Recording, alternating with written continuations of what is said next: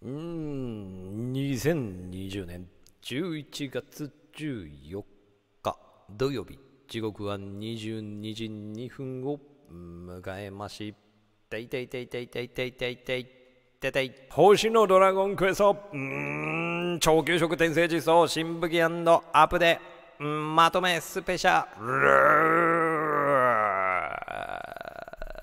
はいどうも、マルベリです。星のドラゴンクエスト生放送やっていきましょう。ってやっと声が戻りまして、えー背景はね、もう12月ということで、雪ちらつかしてみております。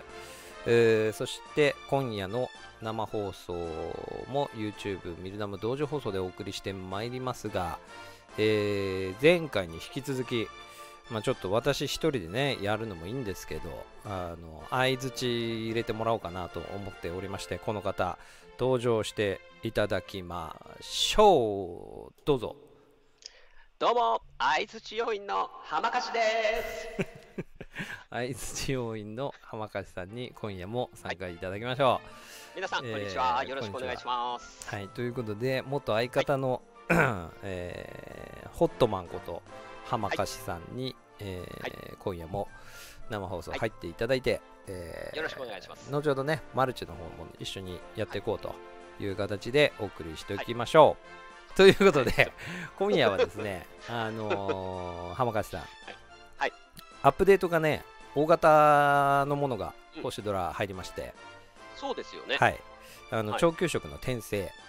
はい。さらにはね新装備がね今日の14日23時59分回って15日の0時ジャストにうん。新装備も来るんですよ、え、もうそれはさ、なん何の装備かっていう情報は出てるんですか？それも出ちゃってますね。あ、出てる。はい。はい。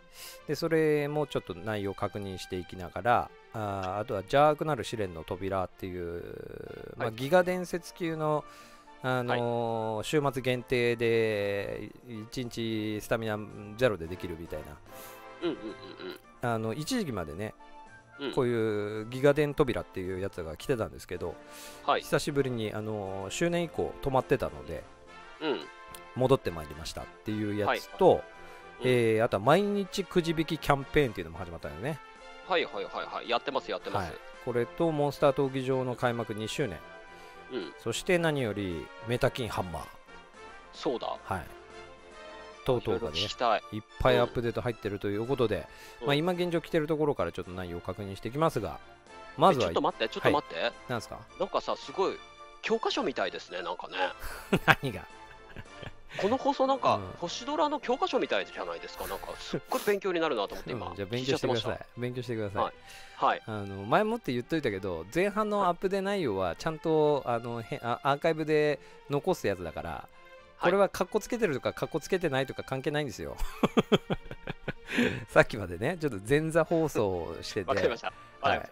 星ドラ放送やってる時の丸ベリはカッコつけてるって散々言ってたけどそれは関係ないんいやいや。ですよ、いやいや、いや、本当、いつも違うんですよ、この人。もっと普通なんですから、この時だけいつもかっこつけてるんです、マジで。カッコつけてねえんだって、はい。いや、すいません、すいません、なんでもないです。もう6年間この形で俺は星ドラ放送やってるしお前も星ドラ放送を俺 俺と一緒にやってただろうが 何を今更かっこつけてるとか言って。いやいや。お前前回こいつはいやいやいや。こ皆さん聞いてください。こいつはね前回の放送で結構なんか空気が合わなくてへこんでてそれを俺がかっこつけてるせいにしてるわけですよ。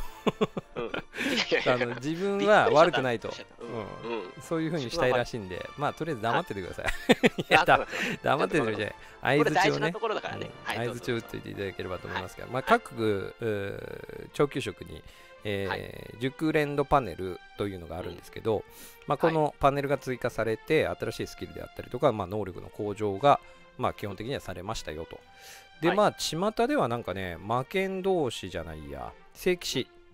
うん。魔法戦系の、えー新しく追加されたパネルの内容で、まあ、はい。CT が、まあ、魔法連山の CT がねパ結構瞬間的にたまるみたいなので、なんか聖騎士めっちゃ光るんじゃね？みたいな感じで、なんか巷では言われてたみたいですけど全然ですね、全然ですね。とか言って。まあ、50%たまるって言ってるだけなんで、まあ結局はね浜勝さんが今回星ドラまたやりだしたきっかけになってる不死鳥王のはい。不死鳥装備が戦闘開始時も CT100% なんで。いやそうなのよ。そうなんですよね、ずるいってあれ、うんぶっ壊れなんですよ。うん、だから。取ってない人の気持ちになって。うん本当ね。だ本当に。とんでもい、ないことになってるんで、まあうん。基本的になんでその長給食の今回のまあ転生来て何がじゃあ一番いいの？ってなった時に、はい。正直そこまでです。うん。そうなんだ。全体的にそこまでって感じかな。いやはい。あのー細かく言ったらあるんだけどもうん。そんな言うてこれはやっとかんとみたいなのは私が見た感じ今んとこない。まあただ絶対ねあの転生させてその追加されたものをつけるとちょっとしたね今までにはないこうパワーアップっていうのはあるんでうん。まあやっておきましょうっていう感じですね。うんうんうんまあ逆にリスナーさんの皆さんでこれはいいよっていうのがあったらうん。コメントで、えーぜひ言ってください。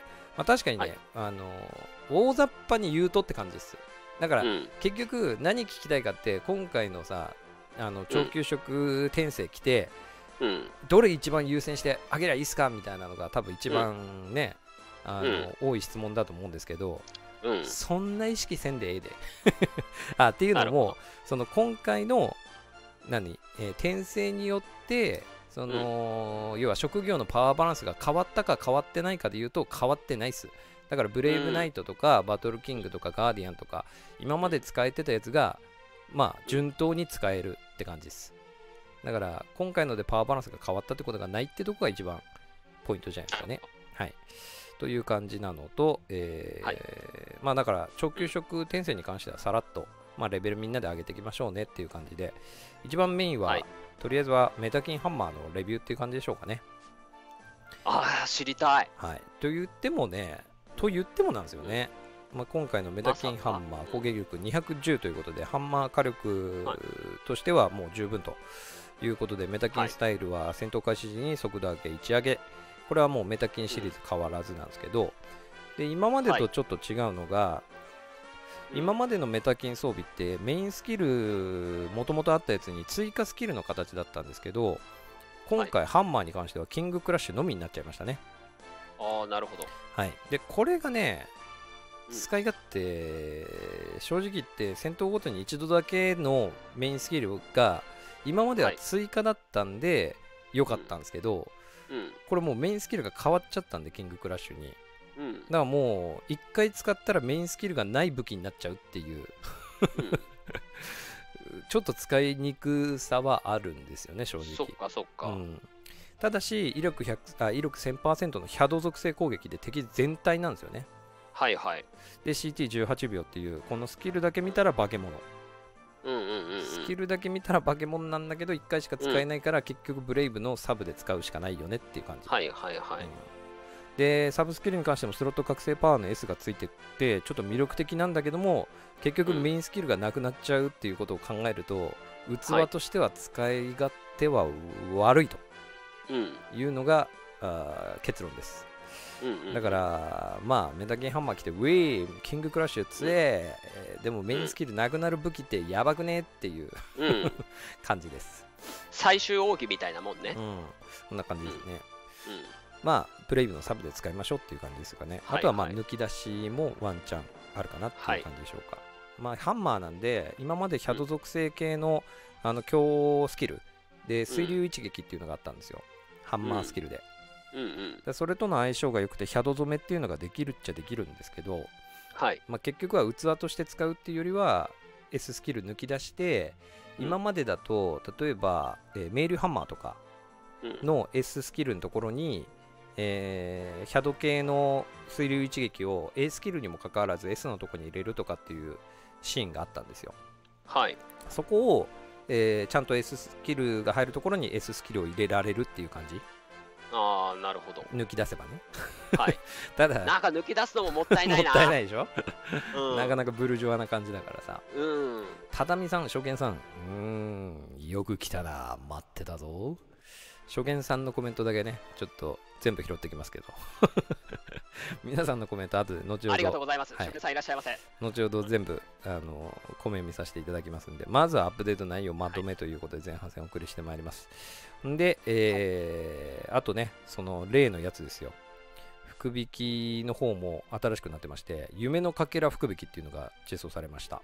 はい。えーこれはね、メタスラ装備10連を普通に引くんだけども、3回引くと、なんと好きなメタスラ装備1つと交換できちゃうという、ただ5回限定。うん。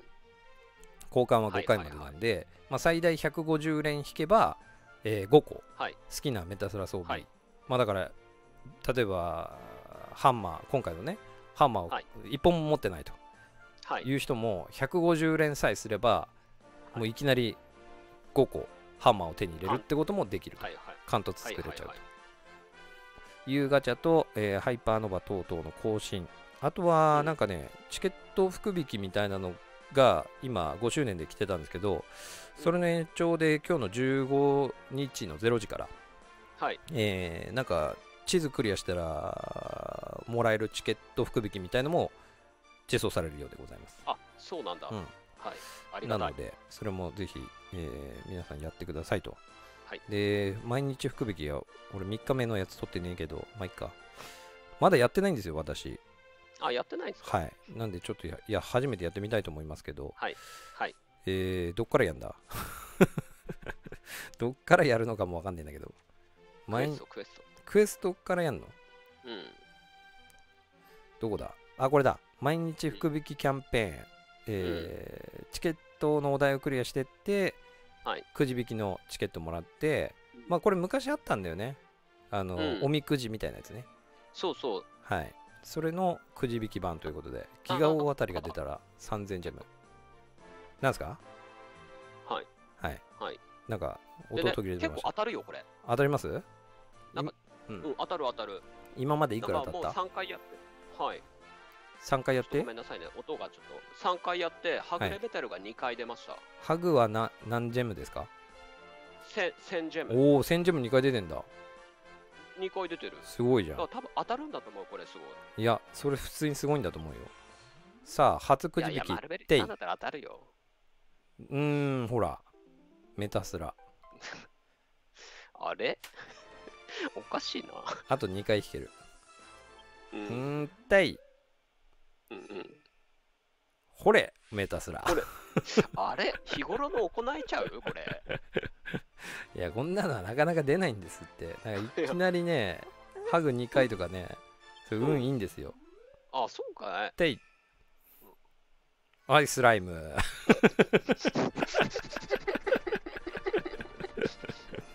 下がっちゃったよなるほどね。スライムメタスラハグメタメタキンみたいな感じになるんだろうね、うん。うん、という感じみたいなので、はい。ジェムもいっぱいもらえますよと。で、はい。さらには教えを授けし、いにしえの学び屋ということで、えー教えですね、がはい。今取得できるイベントも来ておりまして、これを今日は周回していきましょうっていう感じでしょうか。はい。えーあとはもう15人あ15時回った、あ15時じゃない、15日の0時回ったタイミングでレビューを後からくっつけて、えーアーカイブとさせていただければと思います。あと、なんかあったっけ？いやそれこそなんかあのあのあれ魔女みたいなのが出てますよね。戦いが。魔女魔女との戦いみたいな。魔女？まあ魔女っていうんですか？なんか新しく出てきたやついるじゃないですか。えっ、ー、とうーんとイベント。あれ？魔女？あちうんイベントの魔女みたいなやつと最近戦ってますけど新しく。魔女？邪悪なる試練の扉ああ、これはあれね。あの、うん。ギガデン扉ね。あギガデン扉あそれ言ったか、クイーンフィグリンのやつね。はい。はいはいそれで、あとは闘技場ですか。2周年が、えー闘技場が2周年を迎えたということで、はい。で、新モンスターね、えーはい。来てましたけど、これはもう実は過去の生放送でちょっとレビューしてて、まあ、はい。使えるのはバルザックかなっていう感じなんですけど、はい。まあ、ただバルザックは獣系なので、はい。獣系なかなか今、闘技場ではうん難しい立ち位置にあると。うんうんうんうん。いうことがあってですね、はい、まあ、バルザックさんがどこまで活躍するのかは分かんないですけど、まあ、うん。私はバルザックを入れました。バルサックをして。はい。あと、各闘技場のイベントも来てますけど、3回負けたらダメなやつ、もう3回負けちゃいました。終了しちゃったんです 終了しちゃいました。はい。最近闘技場勝てないなっていう感じでございますが。まあそんな感じで、えーアップデートまとめということと、はいあとは追加の0時段階来たものと合わせてという感じにしていきましょう。はい。で、ガチャ。はいはい。1日1回無料まだ引いてません。銀河の剣、セラフェミウミ、最終奥義、ハイパーノバーあたりが今回は来てるようです。行ってみましょう。1日1回無料、ていてい久々に聞いた。さっきからていてい言ってますけどね。え？ー 言ってました？言ってます言ってます。うーん、じゃじゃじゃじゃじゃじゃじゃじゃじゃったい白い弓でだ。これは白鳥の弓だから、これ季節ね、北海道といえばですよ、浜貸さん。ぴったり。ぴったりよ。ね、うんこの時期、白鳥がね、うん。そうそうそう。渡り鳥が釧路湿原でな。はい、うん。北海道はね、やってくるんですけど、さらにはメタフラメタスラの確定福引き1枚。はい。これはあのおモガセの方で、えーゲットできるやつですね。マンスリーの方の報酬でゲットできる2枚目も引いてきましたんで、あ取ってきましたんで、えーハンマーはもうだからメタあメタキンハンマー作れちゃいましたんで、メタキンシリーズあと作れてないの弓ですね。なのでおメタ弓が欲しいかなと思っております。はいはいはいはい。メタ弓狙いで行ってみよう。うーん。確定福引き。これはメタスラ装備絶対何か出ますからね。はい。あとは弓を引けるかどうか。いけいけ。弓弓ちゃんみ。弓弓スナックスナックマルベリの弓,、ま、弓ママ弓ママ出てこいってい弓ちゃん ちゃんゆみ。カブトで。カブトでございました。はいはいはい。ありがとうございます。まあメタボグは何個あってもいいですから。こんなもんは何個あってもいいんでねって、なんかね、聞いたことあるセリ何あのフですけど。行きつけ？行きつけなの？いや違う違う違う違う。あー、今、メタスラ確定福引きからメタスラ兜をいただきました。あー、こんなもんはね、何本あってもいいんでねって。勘、もうほんと勘悪いよね。え？全く勘悪いよね。このくだりでもうピンときてないでしょ。改めて、浜川さん。はいえー時間はあーあれから2時間ぐらい経ちまして、えーはい15日の0時回りまして、アップデートはい内容というか更新入りました。武器セレクション、えーそして武器セレクションのチケット福引きという形で、えーガチャが更新されたのと、あとは決戦闇の炎王と風王という新しい新イベントもお今日からスタートという形はいになるようでございます。まあ、はいここまでがだから11月の今回の大型アップデートの、まあ、内容と含めて、えーになるかなという感じでございますんで、まあ、はい。何より福引きでございますよ。はい。今回は先ほども言ってましたけど、はい。あの武器セレクションの方に、えーっと、だから地図がもらえるのかな？来た。決戦闇の炎王と風王の地図と、あ、これだけ？あ、こっちのイベント、あ、これだ。この決戦闇の炎王と風王のいろいろはい。クリアすると、えーはいはい武器セレクションのチケットがもらえるとあそう。いうことね。はい。で、はいはいこのチケットを使うと、えーこれが引けるのかな？うん多分、10連が引けちゃうのかな？うん。覇王演山。ですね。あのはい10連がす引けるみたいです。で、ループ福引き優勝の方もありますよ。1000ジェムで、えー優勝ジェムあると10連引けてお得です。で、はい。ステップ2は2000ジェム。はい。ただし、ステップ4までいかないと確定。おすごい今回は、ステップ4までいくと、覇王ののファンタスティックの新しく実装されたやつ、どっちかが必ず1個出るって。絶対出るってことね。どっちかが必ず出るんだって。うん。これは、ありがたいですね。ループ福引きですね。うんということで、レビューしていきましょう。まあ、はい詳細、公式の方にはね、もう公開されていたんですが、覇王の斧、えーはい特性が覇王障壁という形で、えー幻惑無効が3ターン、えー戦闘開始時に付与されるという感じなので、幻惑相手が打ってき、あの幻惑効果のあるスキルを相手が打ってきても、まあ、幻惑無効だよと。ははいい。今まで防具側で体勢を取らなきゃいけなかったんだけど、覇王の斧を持ってたら、もう最初の3ターンだけだけどね。うん幻惑を受けませんと。まあ、うん特性としてはそこまでなのかなと。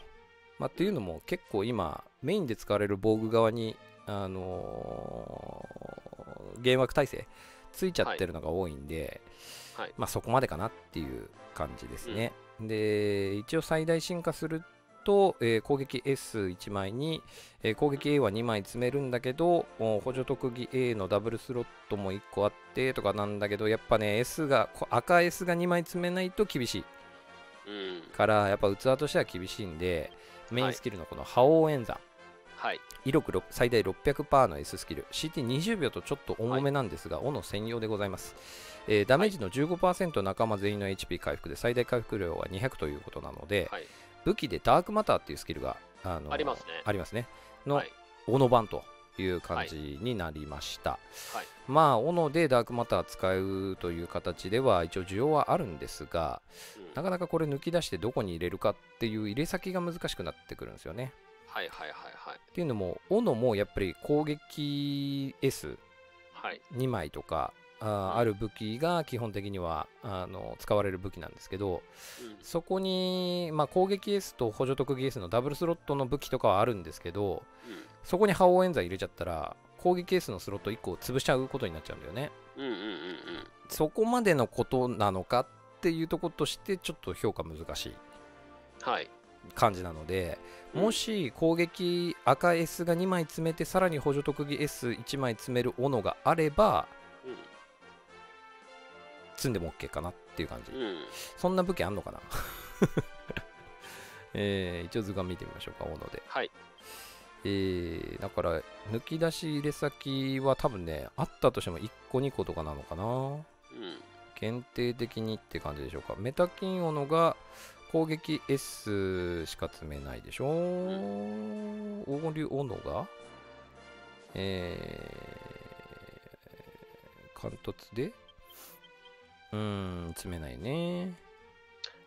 ブレイブのサブにはいいんじゃないですか？というコメントもありますね。そうっ。すね、うん。ただブレイブのサブまあそういう使い方になりそうですかね、不死鳥のがあそうなんだ不死鳥のに積むといいんだね今言った不死鳥劣化に泉しながら補助特技 S も積めるんで、うん赤 S スロットを有効にしながら S, あー S ランクスロットを有効活用できるんだわなるほど。だからやっぱり不死鳥の斧最強にすることができるっていうやつだね。はいはいはい。もうもうもう、ど鉄板ですね、じゃあ、ど不死鳥の斧ってのが。不死鳥の斧に今だったら、えー不死鳥劣化のあ超魔爆炎波とかを入れてたんだよね、補助特技 S のところにね。はいここに欲しいんだわ、絶対。なるほど。は これはもうやってきましたね。い。完全やらかしてますね、これ。うん。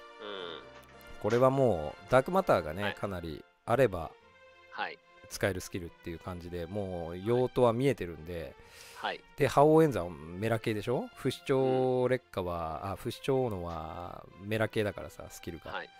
もう完全抜き出し、不死鳥劣化の抜き出しスキル、専用武器って感じですね。なるほど。うん。まあ、不死鳥劣化ない人にとって、あ、不死鳥劣化っていうか、不死鳥の斧ない人にとっては、ちょっと使いにくいかなっていう感じはありますね。正月来てほしいな。正月来るかね。正月来てほしい。うん。不死鳥斧専用スキルって感じになったはい覇王のでございました。そしてはいファンタスティック、こちらは杖でございます。関東杖の攻撃呪文 S1 枚しか積めない。はいでも結構補助に寄せた方の杖になっちゃってますね。はいで、えうん特性に関しては魔導の障壁が封印が3ターン戦闘開始時、えーはい受けないよっていう無効状態になるという感じなんですけどこれもやっぱ特性としては、えー呪文色の装備にもうそもそも封印耐性込みの防具前提っていうこともあってうん。そこまで特性として優位性もなく、で攻撃呪文 S が2枚積めるわけでもないのですいません、ちょっと丸別さん、はい。一瞬席外します。あどうぞどうぞ。やっぱり器としてもこっちも微妙かなとでただし真空原風に関して攻撃呪文ダメージの20%上がりもうインテですね。打った状態でインテかかりバギーの上級呪文。でバギ耐性下げるという感じなんでこれも不死鳥杖の抱き合わせ。しかも A だからね。不死鳥杖の攻撃呪文 A のところに入れようねっていうスキルダブルできちゃいましたと。まあ両方抜き出しに1本は欲しあってもいいよね。まあファンタスティックっていうか斧の方は結構必須ぐらいであ欲しいんじゃない？不死鳥のユーザーとしては。そんなレビューになっております。まあただチケットで引けるんでね今回に関してはどうしましょう。まあとりあえずステップ1一発引いちゃいましょうか。えー、まあ浜川さん戻ってきてからにしましょうか。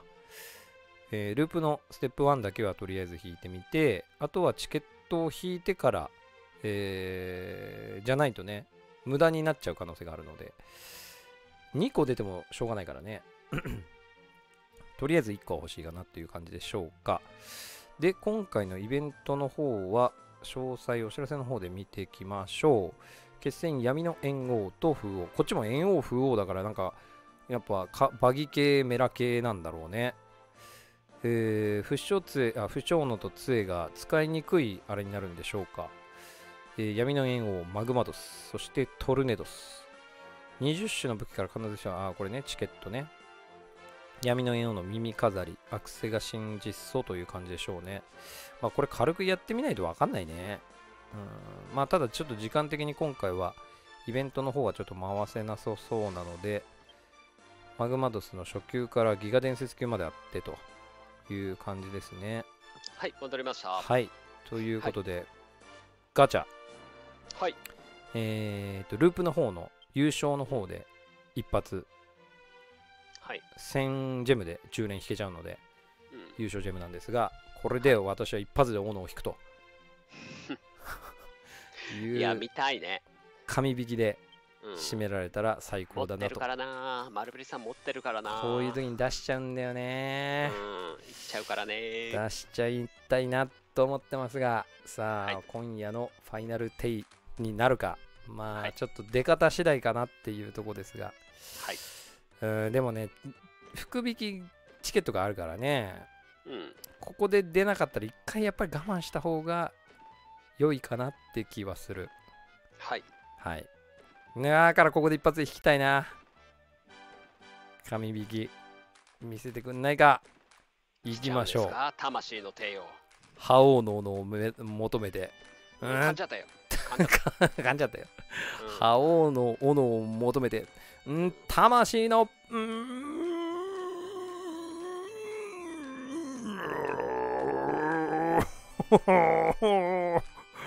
魂込めて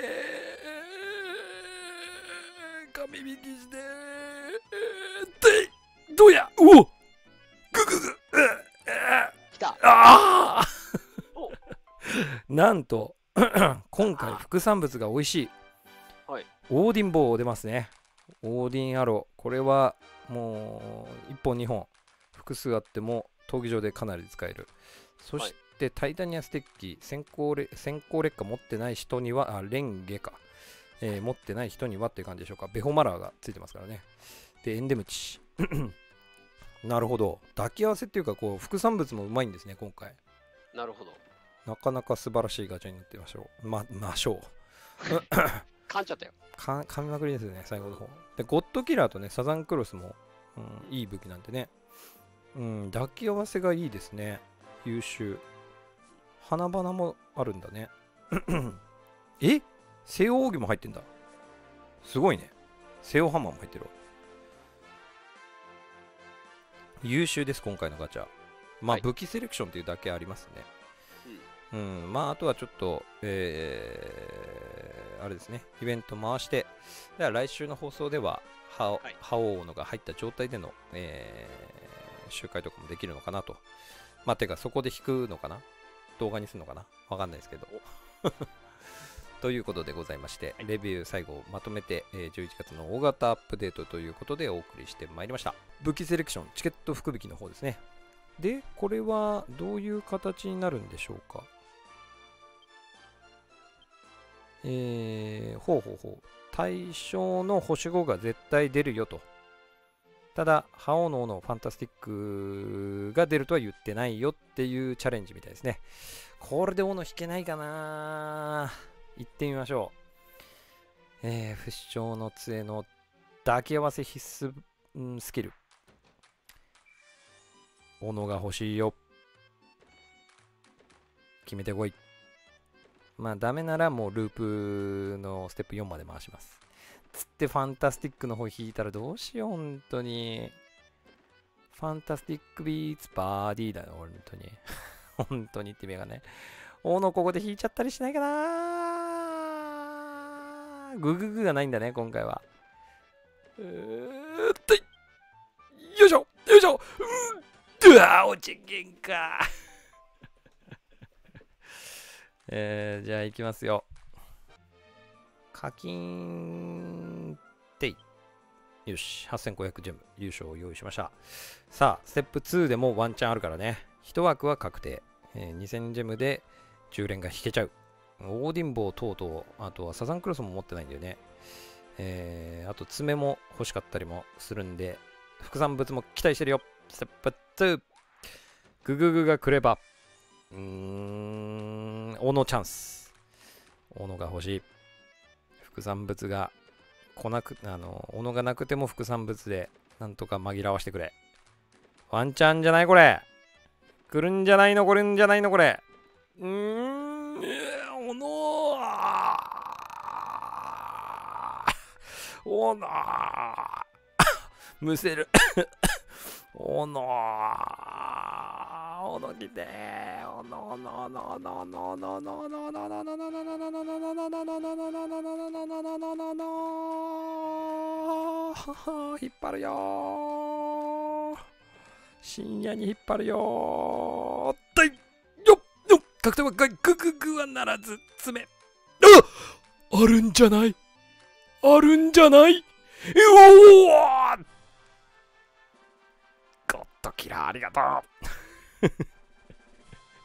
持ってない。ゴッドキラーいいですからね。真相連撃。威力110%バギー4回、えーバギ耐性下げ会心判定ありということで、えー、ソーラン撃の抱き合わせにね。ダイヤモンドクロー。ダイヤモンドネイルもありがとう。これ貫突狙えるかな？ダイヤモンドネイル。ダイヤモンドネイル自体器としても爪まあまあいいんですよね。グググで期待させてくれますね。2周小野さん1つ。いいね。まあでもそん小野は1個でもいいからね。さあステップ3ここでは2枠確定。ただ絶対出るとは対象が絶対出るとは言って待ってい。えー。グググ。グググ。まだサザンクロスもあるからな。グググ枠がまだあるっていうのがちょっと怖いけど。小野小野小野はどこにいるんだていていとあーっと確定枠のみ。グググ。くーセオハンマー。セオハンマーも一時期もう出なくて出なくてずっとってさもう一回出たらすぐ出ちゃうんだこれ。無課金の方はねあんまりおすすめしないですね。で不死鳥斧持ってない方は今回のガチャはあんまり引く意味ないかな、うん、あまあ引く意味ないわけじゃないんだけどね。さあここは蓋は確定。プラス斧かファンタスティック。どっちかが絶対出るよ。運命のステップ4ここで斧を引くんだよ。分かってるだろ？ファンタスティックじゃねえんだぞ。ファンタスティックビーツバーディーは勘弁してください。もう一周で終わらせてよ。追加はやめてよ。ノー追加で。ここでフィニッシュしてください。斧斧んなんかもう嫌な予感しかしないけど。斧だ。斧が欲しいんだ。うーんてい。斧よっよっ。ぐぐぐぐっただーと。確定枠外できましたよ。これはおーのー。いいじゃない。うっと日本出た。日本出ちゃいました。あじゃし。あじゃし。ふうよかった。いや、ファンタスティックも欲しいんだけどね。大野来たんだったらね、もう一本ファンタスティックで来て、もう完璧っていうパターンにしてくんなかったですね。まあ、小野でいいかな。ファンタスティックの方は、まあ、ありゃいいんだけどね。ありゃいいんだけど、うーん、そうね。誰か持ってるでしょ、ファンタスティックは。誰かにお願いします、ファンタスティックは。自分がなくてもいいよ。オイラは斧が欲しかったんだ。福引き底取り出す。いやー、2本出ちゃいましたか。1本は見た目ですかね。ダイヤモンドクローは感動できんのかな西洋ハンマーじゃなくて、オーディンボーも抜け出しとこう。取り出す。闘技場で毎回オーディンボーをさ、付け替えるのめんどくさかったんだよね。取り出す、取り出す。取り出す、取り出す。ゴッドキラーはとりあえずいっか。よっしゃ。覇王演算やってまいりました。スキルセット早速しましょう。これで、不死鳥の斧が化け物になります。化け物。化け物。覇王演算。スキルを強化してこう。えー、大玉使いますか？大成功超成功だ残念。超成功だ残念。皆さんもね、超成功の可能性があるんでね。スキル強化玉の節約を考えながら強化してください。よし、青演算。これ、遠流山である必要性は全くないんだけどね。ここの A なんかいいのあれはいいんだけどね。まあ、一応最終奥義でも入れときますか。うん、構えもそんな使えないんだよね。まあ、一応保険。いやー、できました。最強の。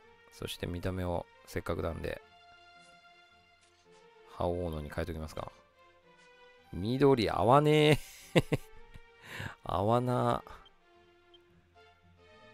緑がいません。うーん、2本、もう1本の運用に関してはちょっとわかんないですけどね。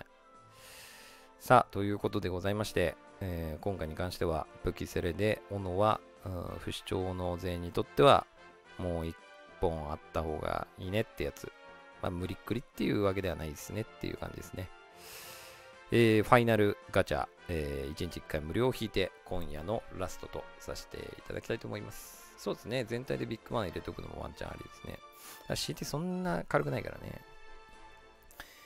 えー今夜の放送も皆様に長い間お付き合いいただきましたが、毎週土曜日、えー星空ミルダム、あ、星空じゃない、YouTube ミルダム同時放送で星空放送、火、木、日曜日は、えー他のゲーム放送、据え置きゲームですね、えーフォートナイトやパワープロ、で、11月の19日からは桃鉄、え桃鉄に関しては YouTube ライブでもやろうかなというふうに思っておりますが、えー、様々な生放送をミルダム側でも行っております。概要欄に URL 貼ってます。明日も、えー日曜日放送ありますので、えー YouTube の放送ならあだけではならず、ん？だけではならず 日本語おかしいですが、ミルダムの放送もよかったら見に来てください。ということで、今夜のラストガチャでございます。縁も竹縄、いいお時間でございます。ちょうど1時半前で、ラストテイしていきましょう。えー、そして、マルベリー放送恒例、いつもの、いきましょう。高評価テイムえー、今日の放送、楽しめたよと、マズラコさんもね、公式ガイエスマズラコさん、そして浜勝さんと、面白おかしく、今日の放送もお送りしてまいりました。また明日以降、明日じゃねえや、来週の放送もね、楽しみにしていただきながら、今回の生放送も良かったよという方、今すぐ、とうん高評価ボタンをてーてーしてください。そして、チャンネル登録、うまた、登録ボタンの隣にあります、ベルマーク、通知ボタンをお忘れの方、押し忘れの方ね、ぜひとも押し忘れのなく、今すぐ、んてーしてください。ということで、今夜の放送、ラストテイ、いきましょう。ファイナル、うーん、テイ !2 回跳ねない。お時間です。また来週の放送、そして、火木日曜日、ミルダムの放送をお楽しみにしていただいて、えーもう遅い時間でございますが、えー2020年11月15日日曜日1時26分、新たな今日を迎えました。えー今日一日の何か皆さんの、えー英気となっていただければなと、この放送がね、心ばかり思っております。今後ともこの丸ベリ放送、ごひいきに幕がおります。えーあらら、最後、ちょっとこれ出ないかもしれないんで先に言っときますが、レイちゃん、スーパーちゃん、まずい ありがたい。またね、えー皆さんとお会いできる日を楽しみに私もしておりますので、皆さんもぜひともマルベリー放送をごひいきに。あー、まさるこさんありがとうございました。ということで、今夜はミレダマ放送もここまででございます。また来週お会いいたしましょう。っていうか、明日の放送を見てくださいね。えー皆さんのご視聴お待ちしております。ということで、みな、あ、間違えた。これじゃねえや。間違えた。マクもう一回来たや。えーということで、またお会いしましょう。本日の放送はここまで。最後までご視聴いただきありがとうございました。またお会いしましょう。オズベリー関連動画も見てね。ラリホー